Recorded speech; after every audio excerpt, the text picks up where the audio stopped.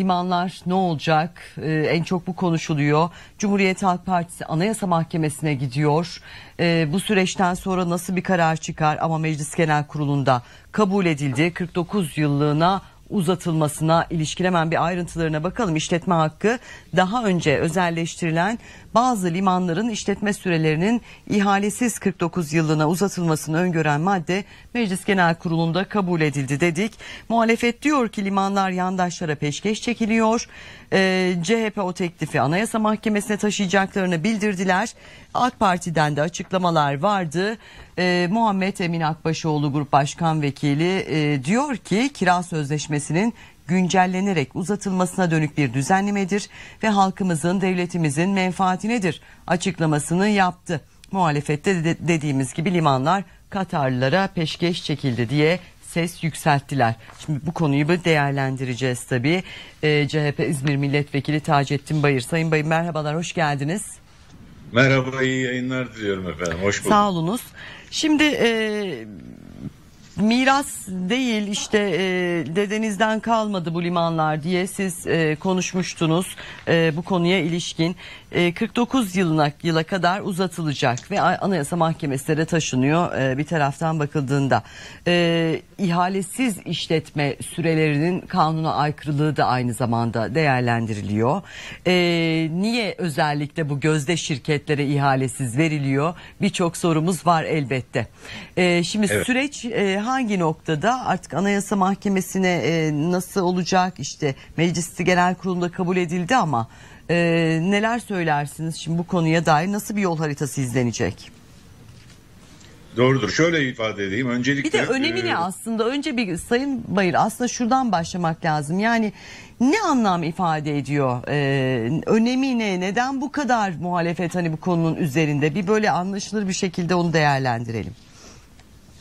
Tabii o zaman e, tersten almamız gerekli. Evet, e, evet. Bence hı hı. 4 Ocak'ta alınmış olan Türkiye Büyük Millet Meclisi'ndeki bu karar Cumhuriyet tarihine kara bir leke olarak yerini alacak. Çünkü bu şu demektir.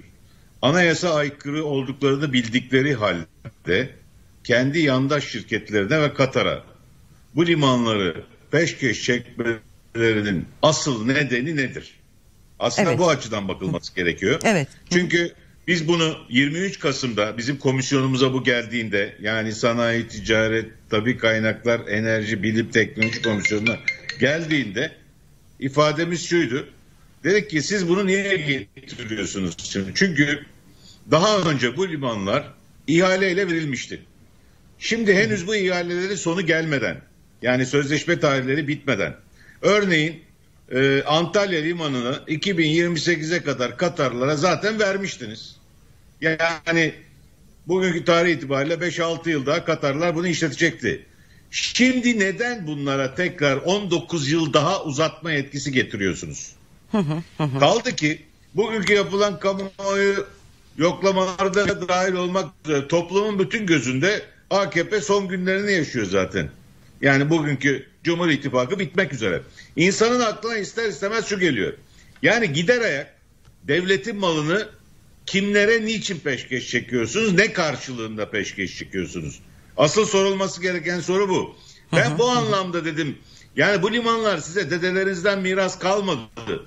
Bunu sanki kendi malınızmış, mirasmış gibi asla savuşturamazsınız, peşkeş çekemezsiniz. Buna izin vermeyiz. Anayasaya aykırı olduğu için oraya götüreceğimizi zaten önceden ifade etmiştik. Kaldı ki bununla ilgili daha önce de Anayasa Mahkemesi'nin de verdiği kararlar var. Bakın bunlar bunu üç kez getirdiler. İlk iki getirdiklerinde geri çektiklerinde biz bunların sanma olduğunu zannettik. Ya gerçekten bunlar da herhalde biraz vatanlarını düşünüyorlar. Vatansever insanlar. İkna ettik herhalde bu arkadaşları geri çektiler diye düşünmüştük. Ve teşekkür ettik. Dedik ki bu maddeyi geri çeken AKP'li tüm arkadaşlara kimin imzası varsa teşekkür ediyoruz dedik. Ama döndürüp ısıtıp tekrar 4 Ocak'ta önümüze getirdiler. Ve oylamadan önce de uyarmamıza rağmen hiçbir milliyetçi, hiçbir yurtsever, ülkesini seven bir insan bu limanları bu kadrolara teslim etmez, vermez. Çünkü o limanlar bu ülkenin geleceği. Artık dünyada ticaret limanlar üzerinden yapılıyor. Sadece ticaret değil başka şeyler de var. Bizim istemediğimiz karanlık uyuşturucu çeteleri eline geçirdikleri limanları farklı amaçlarda da kullanıyorlar. Çocuklarımızın geleceğini zehirlemeyle E, burası da var. çok önemli değil mi e, Taceddin Bey? Şimdi bunu galiba e, Sayın Gökçel söylemişti Cengiz Gökçel e, konuşmasında dedi ki kanunları değiştirmenizi uyuşturucu baronları mı istiyor diye e, belirtmişti. Şimdi Evet. burada da o, o, o kısmından da bakarsak öyle bir trafiğinde olduğu işte kaldı ki çok önemli iddialar var. E, henüz daha işte e, soruşturulmayan hatta üstü kapatılan çok çok önemli iddialar da var. Hal böyleyken bunun için de mi bir anlamda önem taşıyor? Bu da işin en büyük kısımlarından birisi oluyor aslında. Çok doğru Elif Hanım aslında bir şeyin daha altını çizmek lazım.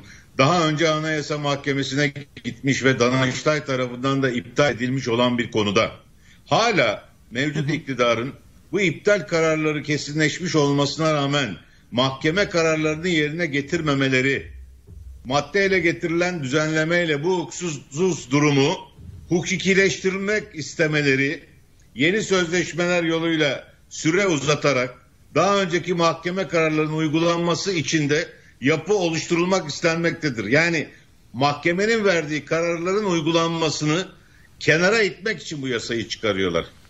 Ve diyorlar ki ya bununla ilgili biz yasa çıkarttık. Siz ne diyorsunuz? Biz de bu konuda kendilerini suç işliyorsunuz diye uyardık. Bu uyarılarımıza rağmen bunu yapıyorlar. Yani normal şartlarda liman işletmeleri hakkı devriyle ilgili ihaleyle yapılan bu işler ihale şartnamesinde yer alan sürenin yasalara göre daha sonra uzatılması mümkün değildir. Bu ihaleyi alanlar bu ihalenin sonucunu biliyorlardı. Yani şu tarihte benim sözleşmem bitecek. Tekrar yenilenecek. Bunu bilerek fiyat verdiler, teklif verdiler. Siz eğer şimdi ben aynı kişilere ihaleye çıkmadan bunu vereceğim derseniz Türkiye'nin bu konuda çok büyük kayıpları olur. Yani rakamlar bedavaya gider bu limanlar. Zaten örneği var bir tane. Bakın limanın bir tanesine 755 milyona sattılar. 3 yıl sonra sadece yüzde 20'sini o paralara sattı alanlar. Yani şunu söylemeye çalışıyorum. 5 liraya aldığı yerin 25 katına yüzde 20'sini 5'te birini verdiler. Bu da şunu gösteriyor ki zaten bu limanlar satılırken ya da kiralanırken öylesine ucuz rakamlarla verilmiş ki zaten orada bir kıyak geçilmiş. Karşılığında ne alındığını bilemiyoruz. Orası örtülü ödenek gibi. Yani orasını sorgulayamıyorsunuz da çünkü sorduğunuz zaman özel şirket sırrı deniyor. Bize bu cevaplar verilmiyor. Dolayısıyla ihaleye girmeden, şirketler davet edilmeden yapılacak bu uygulama eşitlik ilkesiyle bağdaşmamaktadır. Anayasaya da aykırılık taşımaktadır. En önemlisi Peki- de budur. Peki şimdi Emin Akbaşoğlu diyor ki e, Grup Başkan Vekili e, AK Parti Grup Başkan Vekili e, kira sözleşmesinin güncellenerek uzatılmasına dönük bir düzenlemedir bu diyor ve e, halkımızın devletimizin menfaatinedir böyle savunuyor. E, iktidar tarafından bakılınca da böyle bir menfaate yönelik bir uygulama olduğu söyleniyor. Buna kendisi de inanmıyor ama madem öyleyse ben Akbaşoğlu'na şunu teklif ediyorum. O zaman gelin açık yapalım bu ihaleyi. Sadece şu andaki kiralamış olan kişiye yani içindeki kiracıya değil başkalarına da bu yapıyı kiraya verebileceğimize yeni fiyat alalım, teklif alalım. Bakalım içindeki kiracı mı çok verecek? Yeni kiralamak isteyen kiracılar mı daha çok verecek? Yani burası sonuçta ticaretin bundan 5 yıl önceki durumuyla bugünkü durumu farklı, 5 yıl sonraki durumu farklı.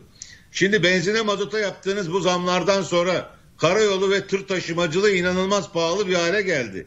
Limanlar kıymetli, taşınması ekonomik hale geldi. Bütün dünyaya bu limanlardan açılacaksınız.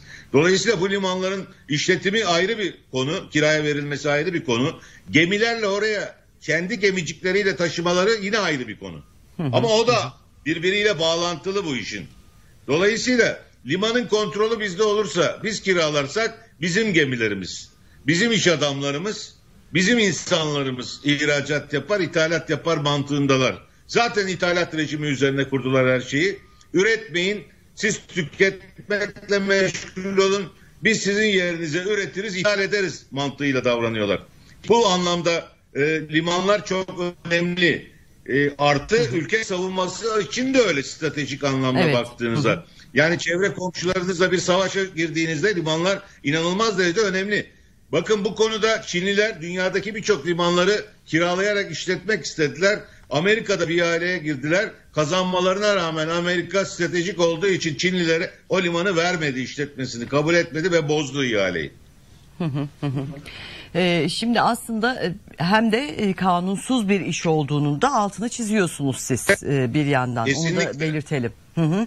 Ee, işte muhalefet ne yapacak diye sorarken de Anayasa Mahkemesi'ne e, gideceğiz. E, ve işte şikayet edeceğiz bu süreci demişti muhalefet ve bu sözleri değerlendirirken bu konuyu değerlendirirken Ee, bir başka ülke başka bir ülke bir ülke başka bir ülkeye ancak böyle teslim edilebilir e, demişti e, Engin Özkoç da açıklamasında. Şimdi zaten e, baktığımızda işte her şeyin tek tek yok olduğunu görüyoruz yani tek tek satıldığını e, çok üzgünüz ki bu süreci yaşıyoruz. Kesinlikle bizler. Elif Hanım. Hatta hatta gençler için üzücü bir durum. Geçen gün bu meclisin kanundan geçtiği 4 Ocak akşamı Türkiye'de Türkiye Kupası Süper Kupası finalini bile Türkiye'de Türk gençleri ancak televizyondan seyredebildiler.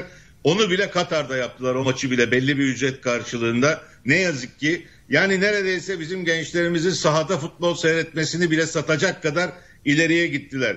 Ve işin ilginç tarafı kendilerinin milliyetçi olduğunu, vatanperver olduğunu söyleyen bir siyasi parti ortağıyla beraber bu milliyetçiliği kendinden tekel olarak görenler milliyetçilik adına verdikleri sınav budur. Asıl milliyetçilik sizin sahip olduğunuz limanlara sahip olmaktan geçer. Oylamada el kaldırmaktan geçmez.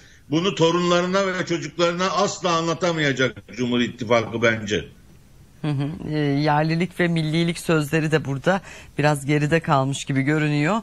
E, dişimizle tırnağımızla elde ettiğimiz değerlerimizden bahsediyoruz aslında e, bir taraftan. E, Taceddin Bey çok çok teşekkür ediyoruz. Şimdi e, bir CHP'nin bundan sonraki sürecini de tekrarlamış olalım. Öyle yayınımızı noktalayalım.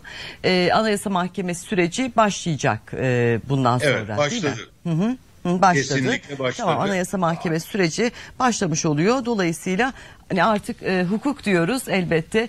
Hukuk e, karar verecek.